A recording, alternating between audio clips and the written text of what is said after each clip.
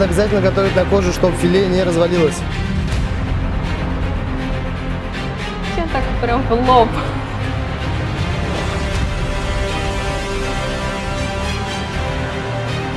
И порой все это выглядит, если не устрашающе, то точно пугающе. У меня получается?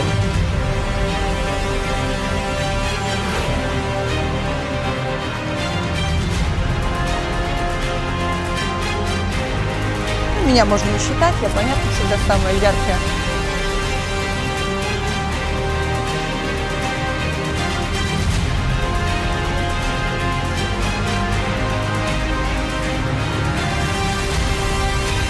С большим лицом мы занимаемся здесь.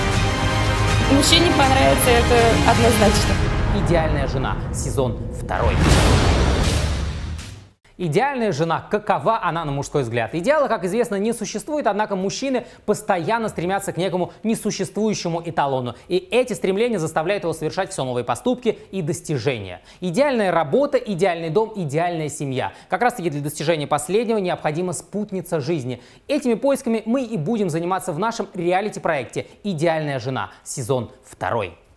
Реалити-проект «Идеальная жена» — это телекурсы для всех представительниц прекрасной половины человечества, которые мечтают стать не просто супругой, а стать настоящей идеальной женой. Благодаря урокам моды и красоты, кулинарии, фитнеса, стрип-пластики и тренингу эротичной женщины вы станете королевой в гостиной, хозяйкой на кухне и куртизанкой в постели. На кастинг, объявленный телеканалом M-Television, пришли участницы в возрасте от 18 до 55 лет для занятий у ведущих специалистов всем премудростям женского дела. Однако до финала реалити-проекта «Идеальная жена» дойдут лишь 10 претенденток, по мнению членов жюри, а победителя определят телезрители в ходе интернет-голосования на сайте телеканала M-Television. Партнеры проекта «Кабаре Стрекоза», ресторан «Республика», танцевальный клуб «Галаденс Агидель», салон красоты «Риваж», женский клуб «Дама Трев», wellness-центр «Слим Клуб», спа-салон «Чикаго», клуб красоты Анеты Уотман.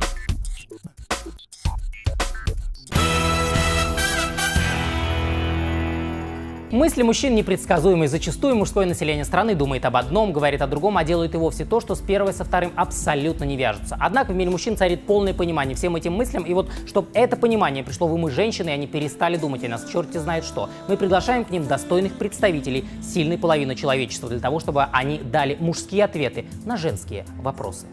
Здравствуйте, меня зовут Михаил Лазаренко, я юрист и занимаюсь своей юридической практикой, имею свою юридическую практику.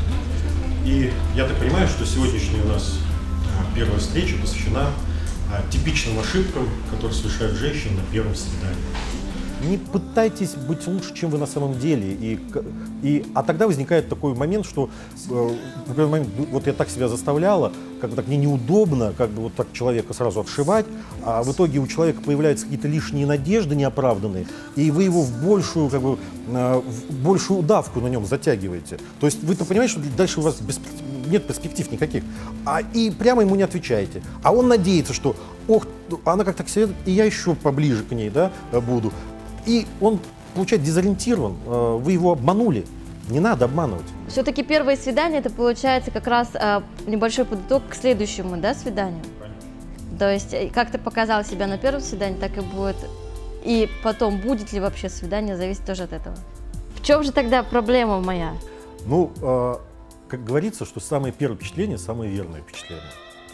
Если, на человек, если человек там лишнего из себя не строит, и проницательный, проницательный человек увидит, э, что это его или не его, стоит ли дальше заниматься э, этими встречами и отношениями. Э, я, например, по себе знаю, что ну, я мало ошибался, побывав на первой встрече и поняв, что это за человек. А вот, э, поэтому здесь важно, на мой взгляд, э, не расплескивая э, себя налево и направо, показать свои главные достоинства, которые вы, вы, которыми вы абсолютно мере обладаете и которые вы знаете. И не стесняться этого.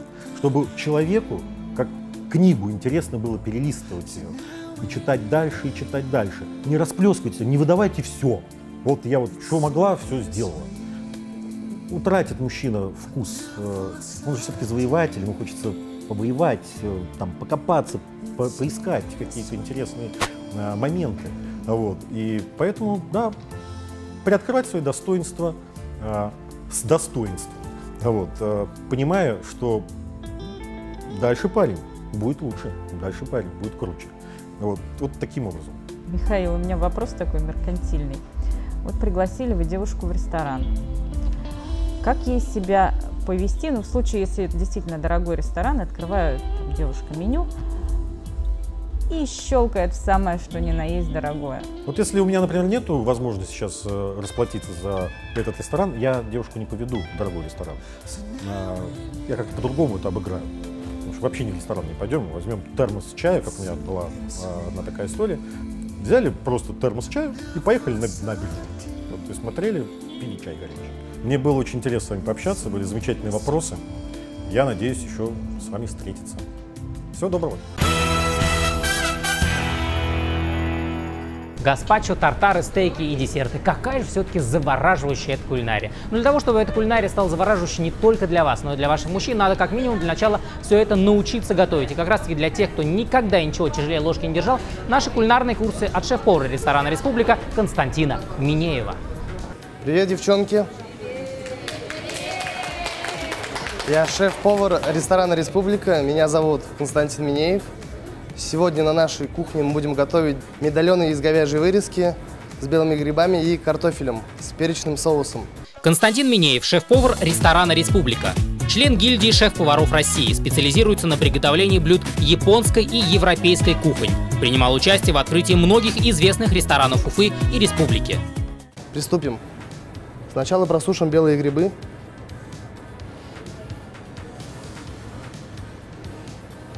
Включим нашу сковородку. Просушиваем грибы на бумажном полотенце.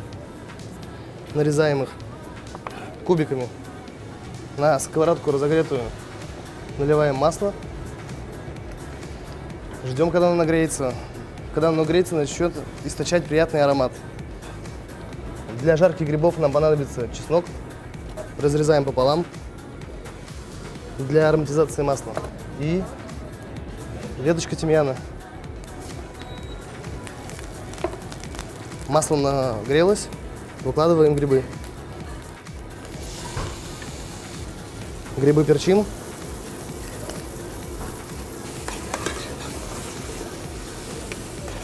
Сразу грибы мешать не стоит. Надо дать им, чтобы покрылась корочка. Пока жарятся наши грибы, начнем приготавливать соус перечный. Выкладываем в сотейник. Ставим нагреваться перец, чтобы он выпустил весь свой аромат.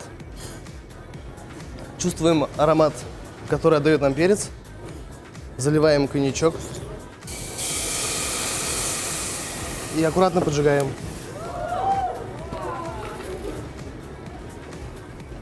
Заливаем говяжий бульон. Чем жирнее, тем он будет мягче. На вкус добавляем тростниковый сахар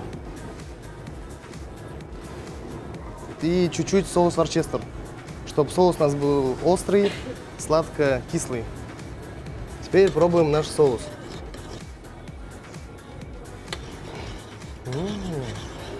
Дальше, чтобы перчик дал свою остроту, блендером блендерим соус.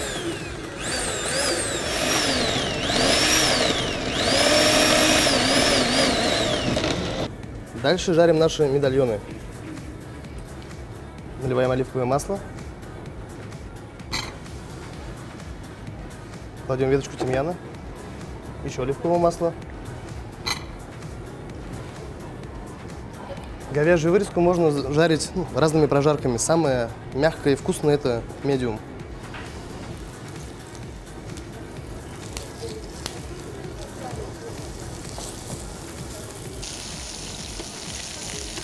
После жарки мясо должно отдохнуть. Минут 5-7. Заворачиваем его в фольгу. И убираем дыхать. Дальше мы пожарим уже предварительно отварной картофель.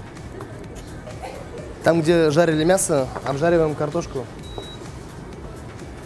От мяса выделился сок. Он придаст Пикантность картофелю. Картофель обжариваем с двух сторон. Солим, перчим. Сейчас картофель пожарится и начнем оформлять блюдо.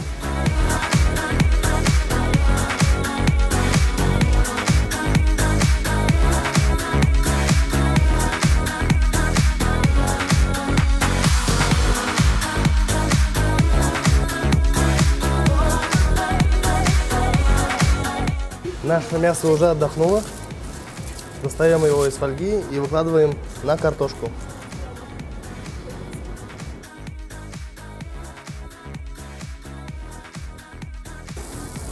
Прогрели наши грибы. Выкладываем поверх мяса.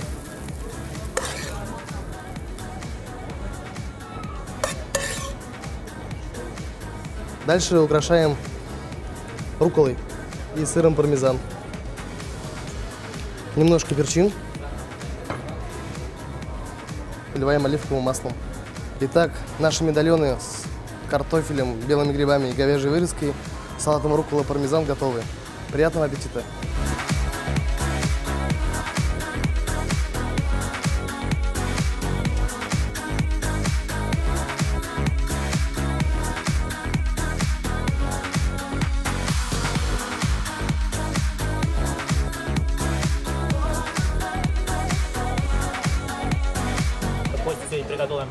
Блюдо. Насколько понравилось, как думаешь, мужу понравится и вообще сможешь ли повторить такое? Понравилось, понравилось. Очень понравилась вот эта фишечка насчет того, что мясо должно отдохнуть. Вот, никогда этого не делала, но думаю, теперь У тебя буду- мясо всегда пахало. Мясо всегда пахало, теперь буду, буду сама отдыхать, и мясо отдыхает пока. Ну, все-таки муж оценит нет картошечку с мясом. Вот в таком приготовлении. Конечно, оценят. Часто, наверное, нельзя, он у меня за правильное питание. Альфия, а тебе сегодняшнее блюдо, вот про салат расскажи, насколько понравилось, сама сможешь такое повторить дома или все-таки э, нет? Конечно, смогу. Мне вообще очень блюдо понравилось, потому что там есть сырые овощи, а это очень полезно для организма. Чем же это Вот. полезно? А это там потому что содержатся энзимы, которые сами расщепляются в нашем желудке. Энзимы сами расщепляются. Отлично. Но мужу-то эти энзимы понравятся или нет? Да, конечно, понравится. Если человек ест мясо, он обязательно должен есть овощи, вместе совмещать, чтобы хорошо усваивалось, и это очень вкусно. А ты как считаешь, вот это легко ли повторить вот такую картошечку дома с мяском? Легко. Почему? Ну, если готовишь с душой и с любовью, я Ты думаю, всегда готовишь с душой или без души? всегда с душой. Прям всегда? Всегда, всегда. Слушай, ну а вообще мужчины на твоем пути, э, которые встречались, э, ценили твою готовку или нет? В первую очередь мой папа, он всегда восхищен тем, что я готовлю. Вау, то есть, в принципе, мужа покорить через желудок – это клевое дело. Легко. Ресторан «Республика» — это новый для Уфы формат живой еды. Это наслаждение вкусом блюд под домашние концерты лучших музыкантов и диджеев республики. Здесь вам ничто не помешает наслаждаться едой, общаться и отдыхать. Окунитесь в атмосферу роскоши и уюта в центре нашего города и попробуйте лучшие блюда европейской кухни. Ресторан «Республика» сочетает в себе все, что вы так давно хотели. Ждем вас по адресу улица Закиева Леди 5.